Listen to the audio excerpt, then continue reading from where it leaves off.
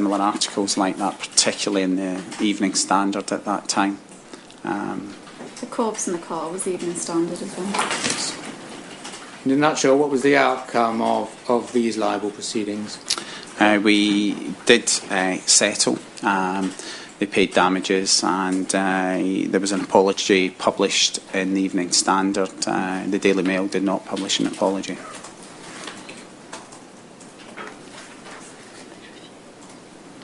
One point you you, you make. Um, these libel proceedings were brought with the benefit of conditional fee agreements, is that correct? Yeah, I think it's very important, um, given the scale of the task uh, that faced us, and we were given, we made our decisions after being fully informed of the pathway, and I think that's very important.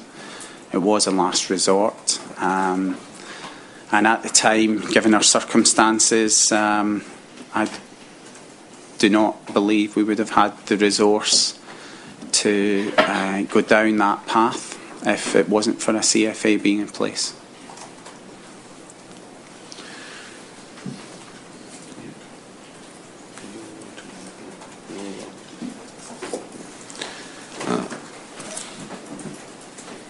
This is going to be your choice. It won't happen to anybody else, but it will be your choice. If you'd like a break for five minutes, we'll have it. If you'd prefer to carry on, we'll carry on. I'm happy to carry on.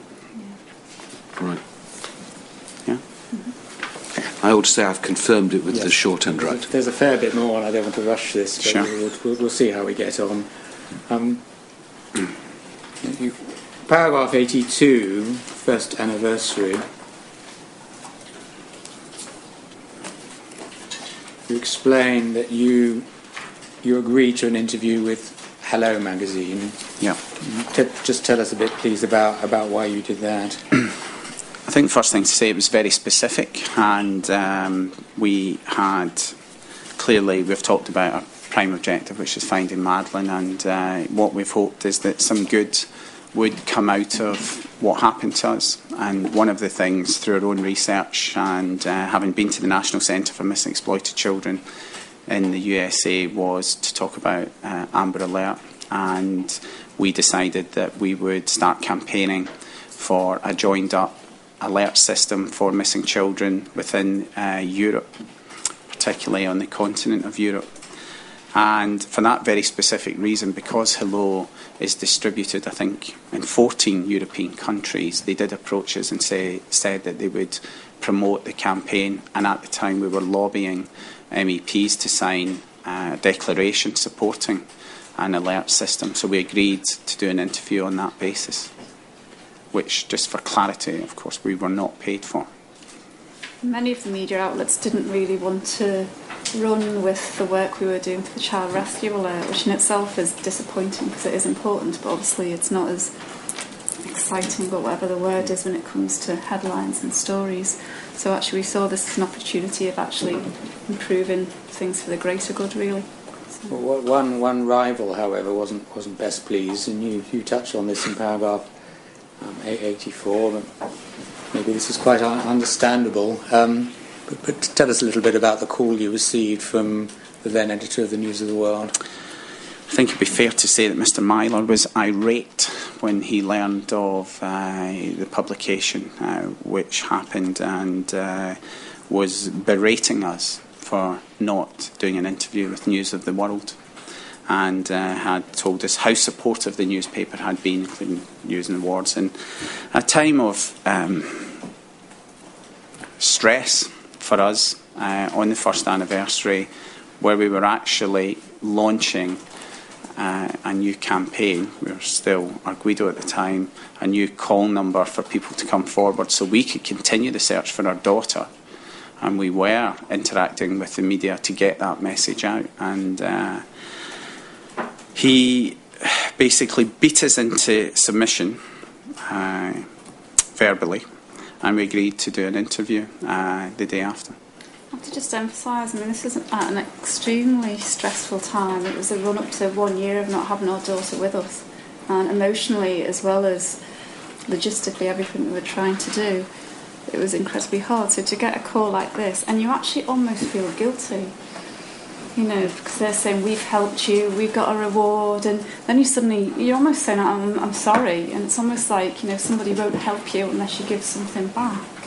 Um, And of course, we were trying to make the distinction between interacting with the media for what we thought was something helpful for the search and simply doing an interview, which we knew would focus on the human interest aspects and not necessarily the search for Madeleine. The news of the world come, come into the um, narrative a few months later, because as, you- as you rightly say, now we're paragraph 86, and maybe that Dr. Kate McCann would like to deal with this, but I'm in your, your hands. Out, out of the blue, 14th of September 2008, transcripts from your personal diary appear, or purport to appear, in the News of the World. Can you tell us a bit about that, please? You're right, and this was totally out of the blue. It was um, Sunday lunchtime. We just got back from church, and I got a text message from um, a girl who works in the nursery where Madeleine, Sean, and Anne went, and it just said, um, "Saw your diary in the newspapers. Heartbreaking. I hope you're all right."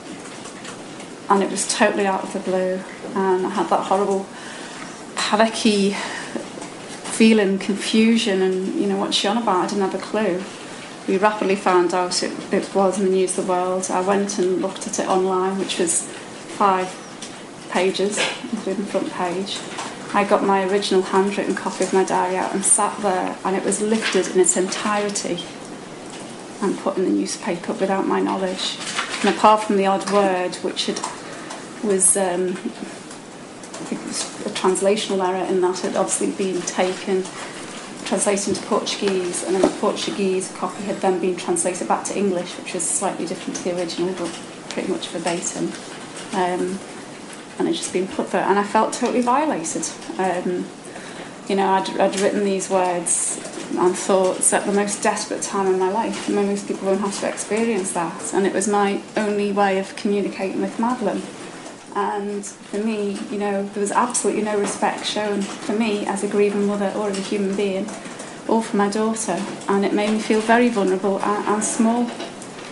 And uh, I mean, I just couldn't believe it. And it, it didn't stop there. I mean, it's not just a one day thing. I mean, that whole week was incredibly traumatic. And every time I thought about it, I just couldn't believe the injustice. And, you know, I actually just recently read through my diary entries at that point at that week and I talk about climbing into a hole and not coming out because I just felt so worthless that we've been treated like this. Can we just be clear as to the provenance of the, the diary? You mentioned a Portuguese translation, which, which may be a clear indication of provenance, but uh, perhaps I can take this quite, quite shortly, shortly that the, the judicial or police authorities in Portugal had obtained um, or had seized a copy of your diary, or perhaps it was the original, in August 2007. Is that right? Yeah, was- We're talking about a hard copy manuscript So document. it's just, just handwritten. They, they'd come and said that they were taking um, clothes from the villa and we had to, had to leave. And when we got back later that day, I noticed that they'd also taken my diaries as well, which I have to say was a little bit of a shock um, for other reasons, anyway. And um, it did, they did come back to me about 24, or 48 hours later. So Right. I retained the original copy. Yes. Um, but So obviously, photocopies were taken during that period. Yes, it's, it wasn't clear to your, from your statement, but it now is that it was within quite a short space of time that the original was returned to you. Um, you believe by order of a Portuguese judge. So it sounds as if the initial siege, seizure had been a, a step too far, or whatever. But, Yeah. but a, a copy of the original must have been taken by someone, presumably someone within the, the Portuguese police or judicial authorities. Is that correct?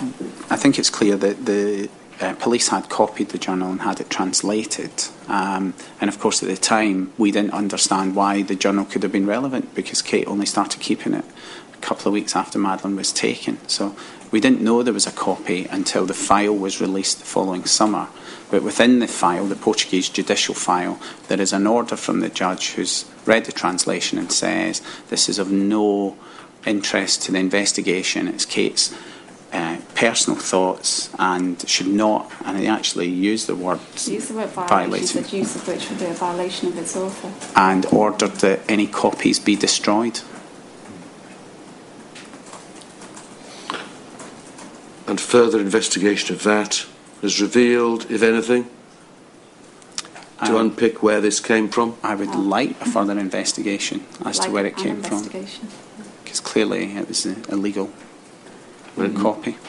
I think what what is relevant there, and I think this has already come out from Dr. McKay, McCann's evidence, is that one or two things were lost in the translation or changed, which indicates that the piece in the News of the World was a translation Yeah. from the Portuguese.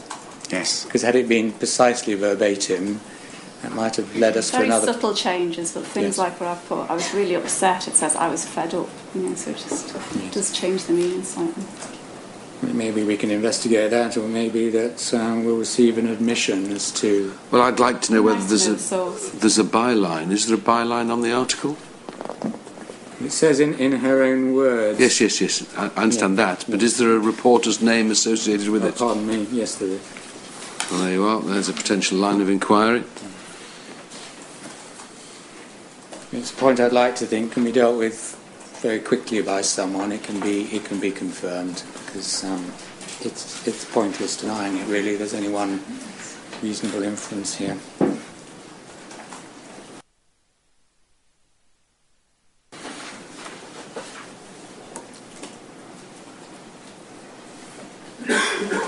Do you refer in paragraph 93 to a conversation which was reported to you from Clarence with the, the deputy editor of the News of the World, as he then was, Mr. Ian Edmondson. Yeah. Can you tell us a little bit about that, please? I think the first thing to say is that Clarence would speak to Ian Edmondson, who's deputy editor, um, was probably responsible for most of the stories uh, relating to At that time. So Clarence spoke to Ian on a regular basis and one or two of the other News of the World um, reporters. Um, Clarence had mentioned it to me, just saying that the News of the World had indicated that they would do a supportive story, uh, mainly attacking the Portuguese police, but generally supportive. That was it. There was no mention of having a copy of Kate's diary, no mention that they were intended publishing it verbatim. Uh, so, as Kate has already said, it was a complete shock uh, when we heard that it was Yes. printed. A breach of a number of tortious obligations.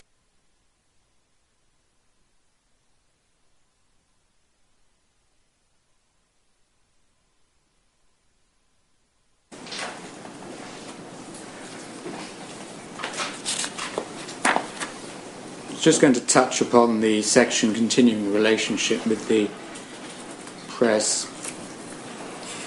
Uh, I'm not going to cover paragraph 97, but I, I, I will, unless I'm asked to specifically. If you wish me to, I will, but I wasn't minded to. I was going to ask you, though, about paragraph 100.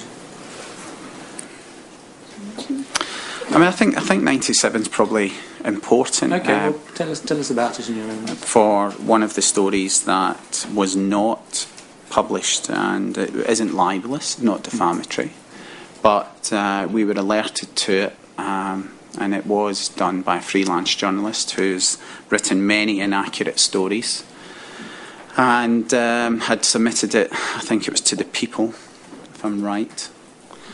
Um, the People on Sunday, and uh, the editor or the sub editor, deputy editor, called Clarence just to say that they were running this. This was in the uh, evening of this the Saturday, and Clarence phoned us, and it was complete nonsense. But it was basically saying that uh, we were undergoing IVF treatment uh, with a view to getting a new baby to replace Madeleine, and. Um,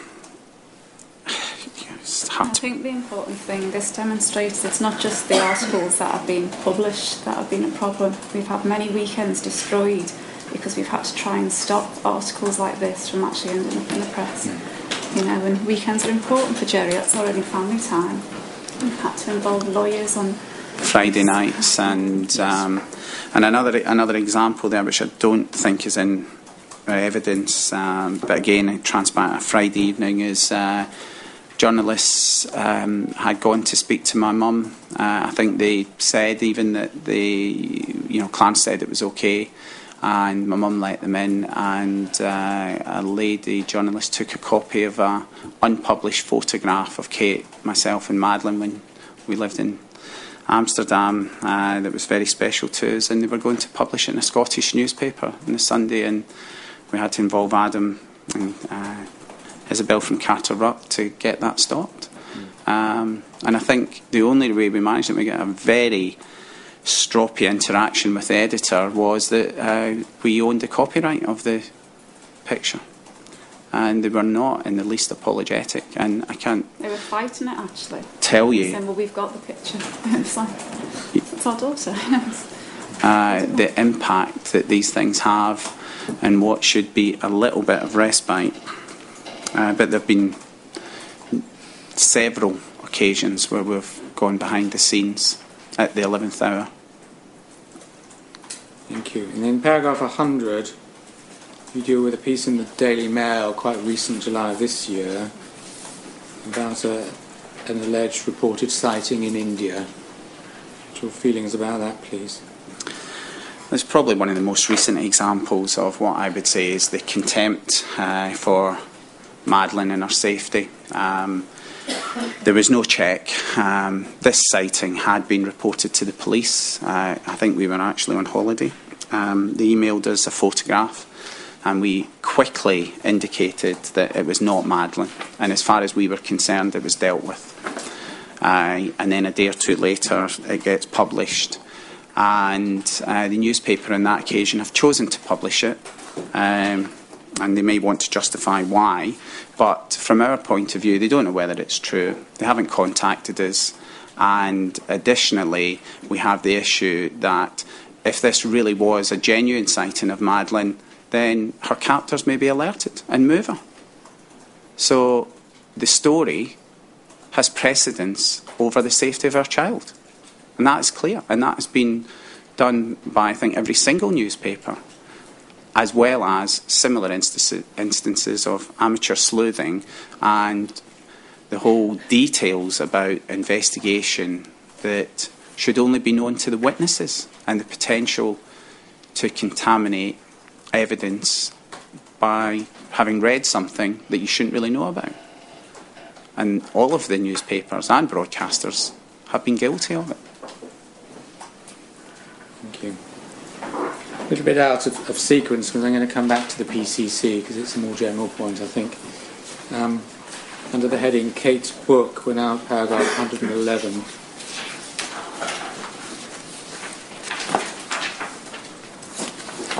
Maybe that um,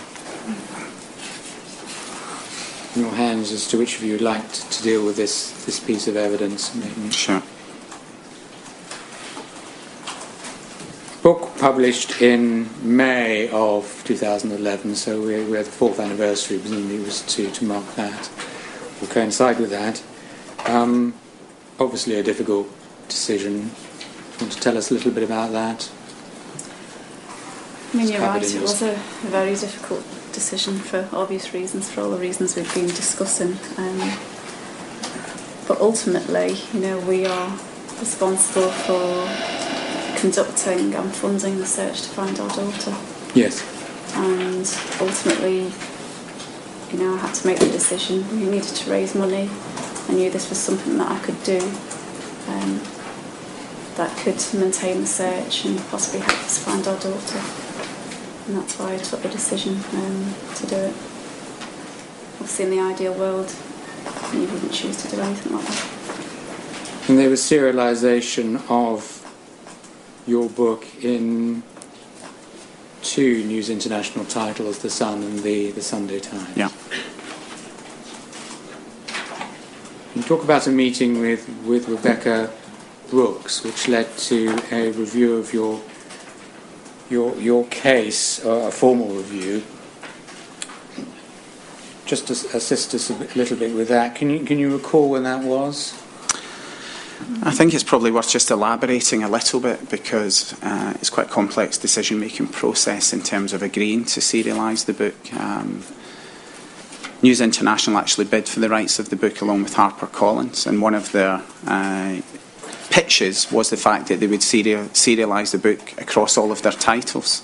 And we were somewhat horrified at the prospect of that, given the way we'd been treated in the past. And the deal was actually done with the publishers, Transworld, that uh, excluded um, serialisation. Now, we were subsequently approached by News International and Associated to serialise the book. And after much deliberation, we had a, a couple of meetings with the general manager and uh, Will Lewis and Rebekah Brooks and others. And what swung the decision to serialise was News International uh, committed to backing the campaign and the search for Madeleine. And that passed our test of how it could help.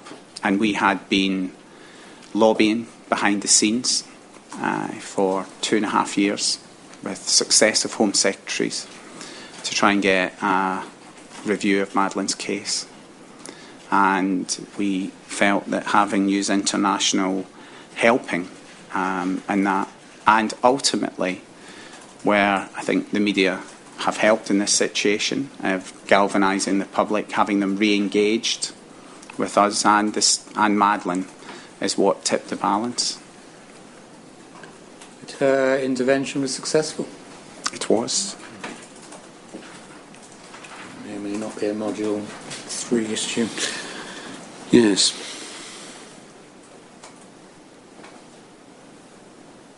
It's right to say, in terms of the sequence of, of events, I think the Prime Minister was involved just a bit before, and then the Home Office the day after. Yeah, I think. Um, I mean, we had written to the Home Secretary uh, saying that we'd be launching the book and asking her to update us on where they had got. Um, and we got one letter um, which really didn't say very much. And then we did the open letter to the Prime Minister in the front, which was published on the front page of The Sun.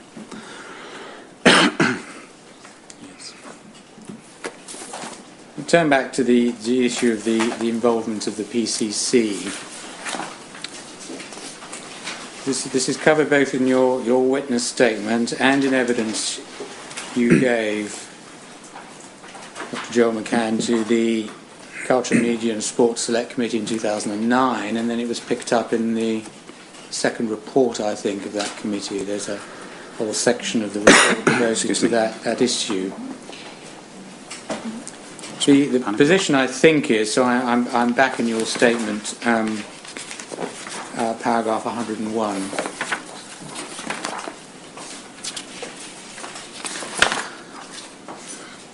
Is that the, the PCC's position is that at an early stage they put a message out that they were ready, willing, and able to assist you. This was in May 2007. Do you follow me? Yeah. I think your your evidence is well, you never got that message. Is that right?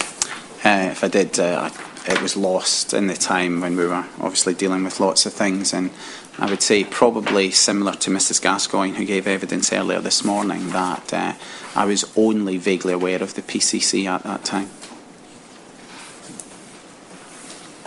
Paragraph 103, you say that we have on a number of occasions had cause to contact the PCC. The PCC was extremely helpful in dealing with the unwanted intrusion into the privacy of our twins. Now, are- are you referring there to the um, the business with the paparazzi taking Sure. photographs when you're back in the United Kingdom? Yeah. I think, though, we had also indicated earlier in the summer of 2007 that although we tacitly agreed to having photographs of us taken in Praia da Luz, largely because we felt that we couldn't stop it, particularly with international be- media being there, that as the situation dragged on over months, we didn't want continuing photographs of Sean and Amelie to be published And We were obviously concerned at the time they were just two, but as they got older, they could be recognised. So there was an agreement, um, and I can't remember exactly if the PCC were involved in that, but we asked the media not to publish photographs of Sean and Amelie, and that was adhered to with pixelation up until we arrived back in the UK, and then it went out the window again.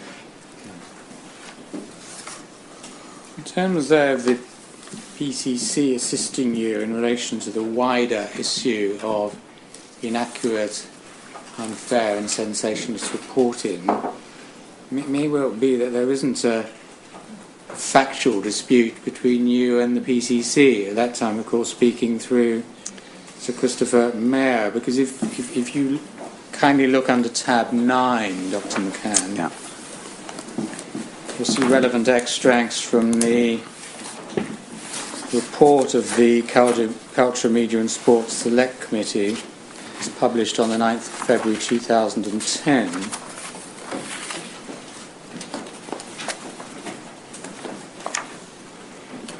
I invite your attention, the pagination is working on the top right hand side of each page to page 87.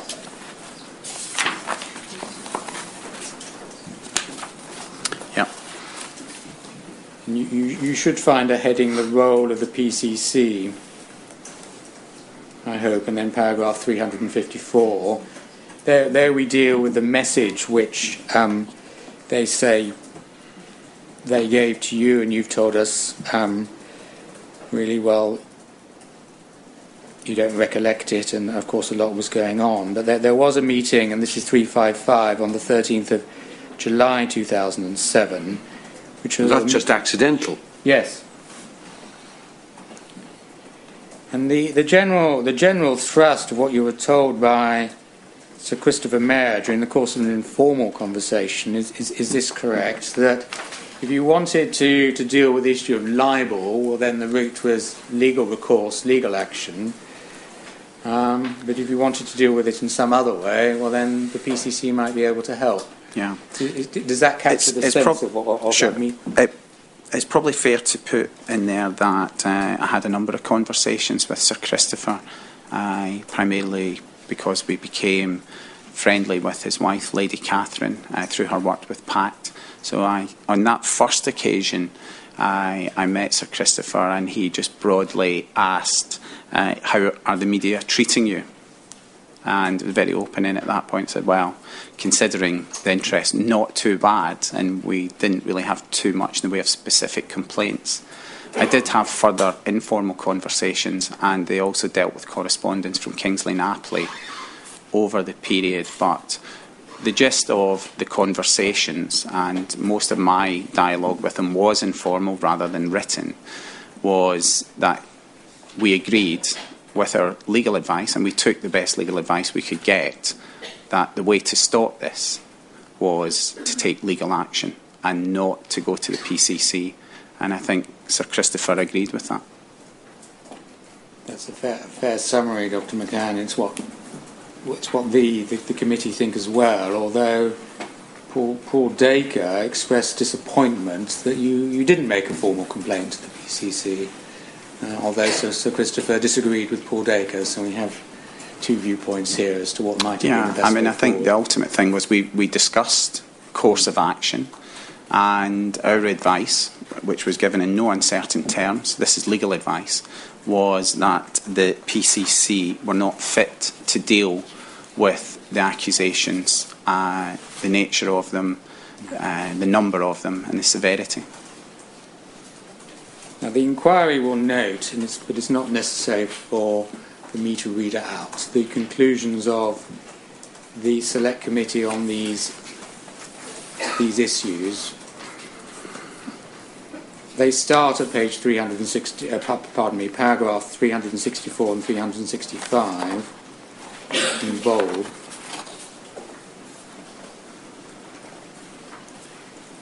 And a direct criticism is made by the Select Committee of the PCC that here with the press beginning to ignore the requirements of the code and the PCC remains silent. And then, under the heading Lessons Learned, they review your case they rightly point out uh, that this was a very unusual case. They state that the coverage was, was freakish, and then their conclusions are set out at paragraphs 373 and 375. Perhaps I should read those out. The word freakish is, is the committee saying it's far from clear that the McCann coverage was really so freakish. Paragraph 373. The newspaper industry's assertion that the McCann case is a one off event shows that it's, it is in denial about the scale and gravity of what went wrong and about the need to learn from those mistakes. In any other industry suffering such a collective breakdown, as for example in the banking sector now, any regulator worth its salt would have instigated an inquiry. Press indeed would have been clamouring for it to do so. It's an indictment on the PCC's record that it signally failed to do so. The industry's words and actions suggest a desire to bury the affair without confronting its serious implications, a kind of avoidance which newspapers would criticise mercilessly and rightly if it occurred in any other part of society. The PCC, by failing to take firm action, let slip an opportunity to prevent or at least mitigate some of the most damaging aspects of this episode, and in so doing lent credence to the view that it lacks teeth and is slow to challenge the newspaper industry. Is there anything you wish to add or subtract from from that? I think I would agree with it, and it's probably others are best placed to decide whether the PCC could have actually changed it, though. I think that's a moot point. I'll deal now with some general points, including the, the four general.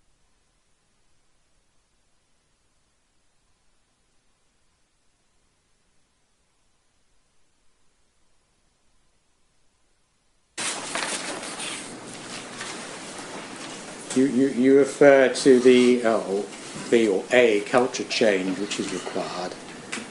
May I invite you please to put that in your own words, both to identify the existing culture and then the change which you think is required. Well, I think we can uh, speak with experience about uh, how powerful the media are and uh, how much damage they can do. And we've already said how many good things that they have done as well. So there is power, there is no doubt about it. But what we see on a daily basis are front page tabloid headlines in particular, sometimes followed by clamour with 24 hour news channels and internet and a blurring of the media of stories which appear to have no factual basis or exaggerated or is distorted.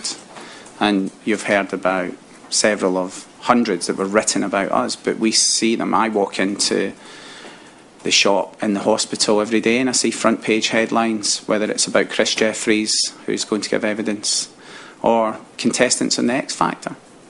And I think information is being written and lives are being harmed by these stories. And something has to change. A commercial imperative is not acceptable. Thank you. Now, the, the four specific headings which um, you've given us, I mean, in one, one sense, it, you've largely covered these, but I think it's, it's helpful if we can bring the strands together. The, the first is libel. Might it be said, and can I just invite you to deal with this? Well, this in fact is an example, your case, of the system working to the extent that you decide at a certain point that enough is enough. Um, obviously, as professional people, you're not going to put your house on the line to fund legal action, but conditional fee arrangements were available. You took advantage of that within a, a reasonably swift time frame. There's others to decide it was quick enough or, or whatever. The position of Express newspapers changes. They admit liability. They make a statement in open court. They pay £550,000, which, uh, in the scale of things, is a significant amount of money with modern libel awards. And there's a front page apology. is that an example of the system working, or do you have a different take on what I've just said? I think it is an example of the system working in part. However, we would much rather we weren't awarded any damages and the stories had not been published.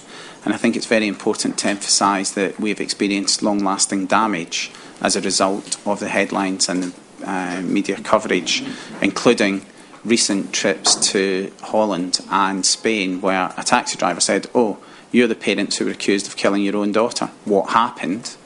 And secondly, in Spain, where they showed a film that supposedly had us, you know, showing tablets that were tranquilizers that we'd supposedly given to our children, stated as virtually fact.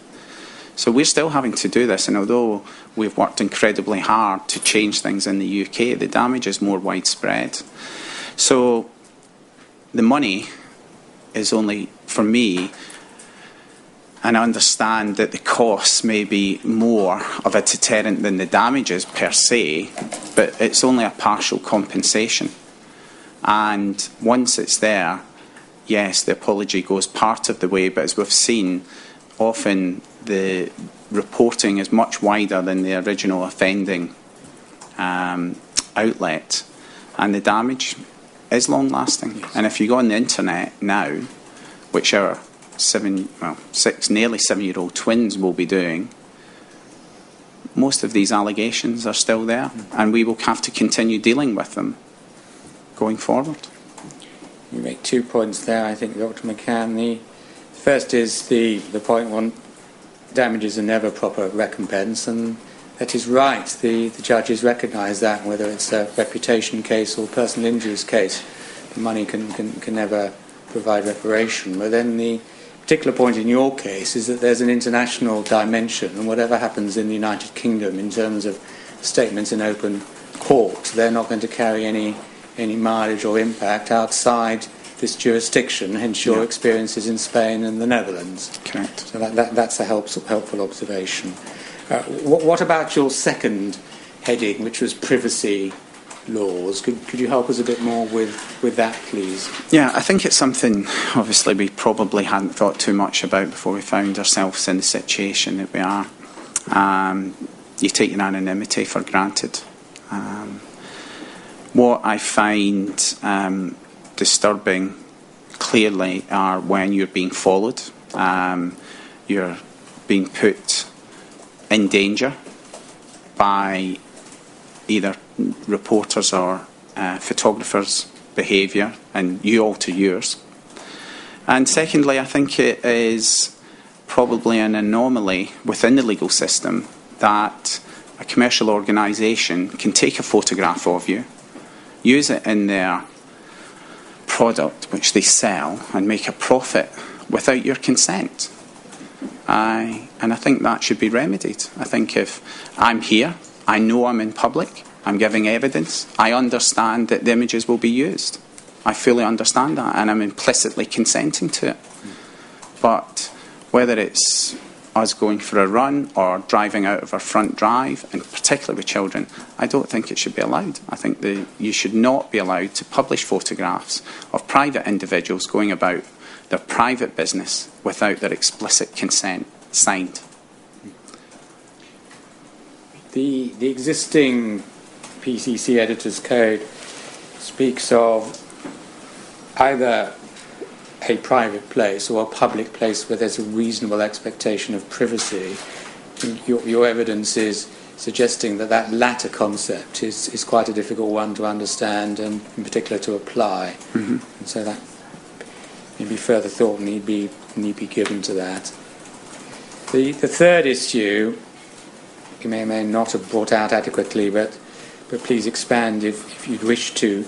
Contempt, contempt for the judicial process, namely the secrecy implications of really Portuguese law, I think, and, and for your child's safety. Yeah.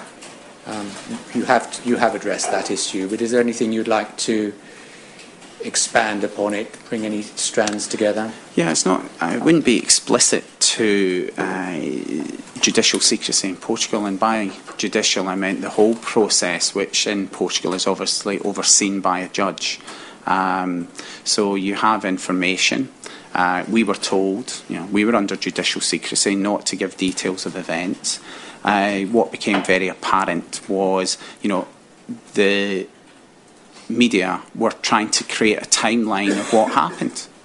And we had obviously created a timeline and given it to the police and tried to narrow down to the closest minutes when we think Madeleine was taken to help the investigation.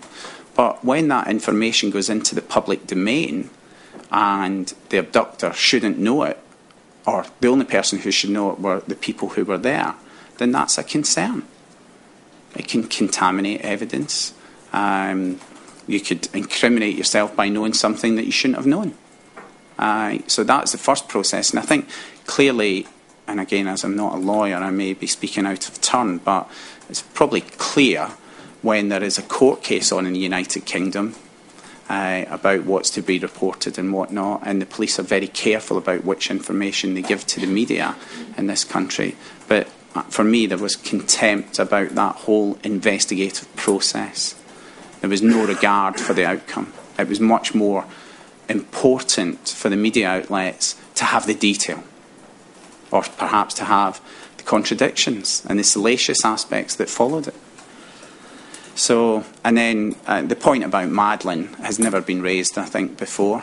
Um, and clearly, every outlet, I think, has been guilty of this uh, about reporting, citing suspicious people without giving it to the proper authorities.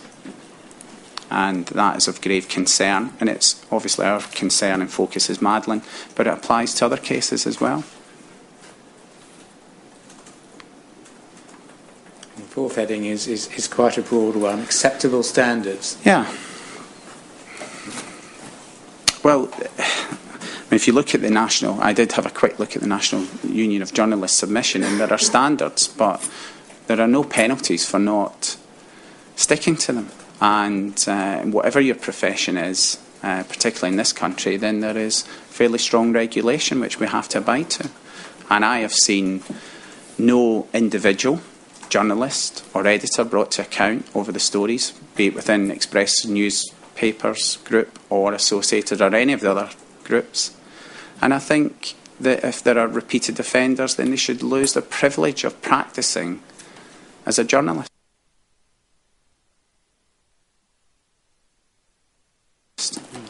Quite difficult that. Be, uh, I, I'm understand exactly why you're saying it, but just let me share with you the difficulty that what journalists do is exercise the right of free speech. And whereas you, as doctors, uh, require license to practice medicine, and if you uh, uh, are taken to the GMC, then the GMC have all sorts of sanctions available. It's quite difficult in relation to the exercise of free speech. That's not to say that there shouldn't be penalties, that there shouldn't be some mechanism whereby there's a holding to account for what you've done. Sure. But Thank you, sir. I, I would like to emphasise that I strongly believe in freedom of speech.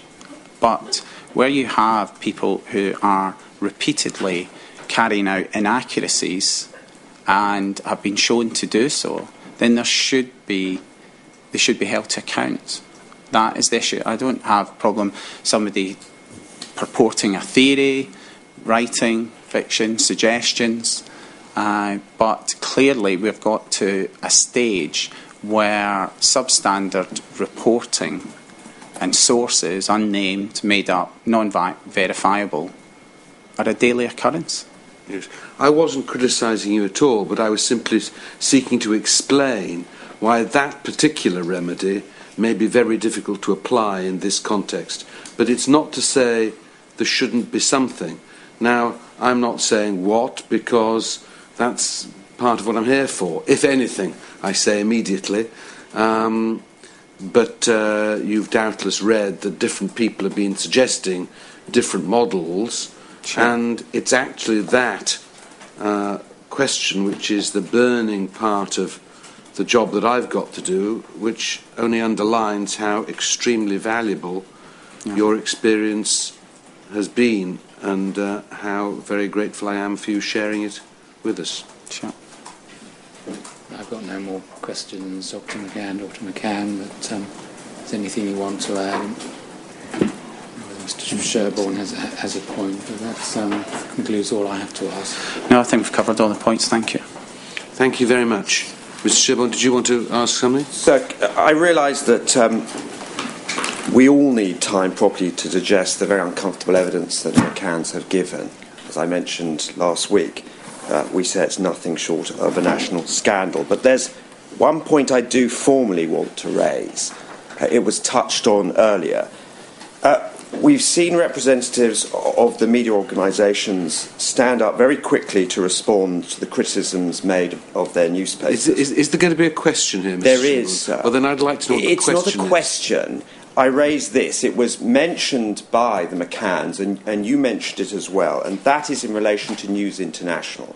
And what we do ask is they provide a response, sir, as you mentioned, in relation to the publication of Kate McCann's Right, diary. M- Mr. Sherborne, I think that is a speech.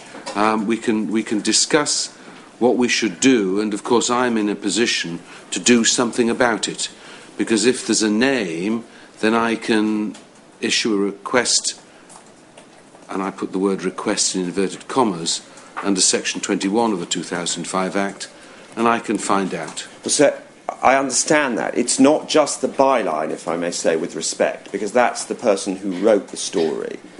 There is also the question, which I'm sure the McCanns would like to be dealt with if possible, which is who obtained and in what circumstances they obtained the diary from the Portuguese I understand. but police. That's that's that's That's a decision at a higher level. That's a thread, and I'm I, I'm absolutely al- alert to the point. I'm I really am. I'm very grateful. Thank you. Uh, Dr. McCann, Dr. McCann, thank you very much indeed.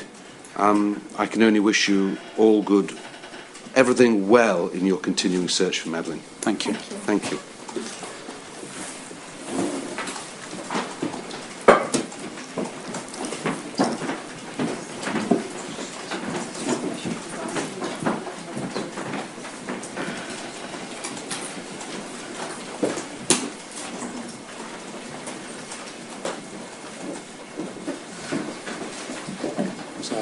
handed something I, I'm sure I can ingest immediately. It's probably something that um, can be dealt with as between two of the core participants in the first instance rather than troubling you. And if it can't, well, we'll come back to it to, tomorrow morning. But um, All right.